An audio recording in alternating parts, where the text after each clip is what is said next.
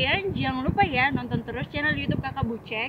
Jangan lupa juga untuk like, comment, and subscribe dan share ke seluruh sosial media yang kalian punya. Oke?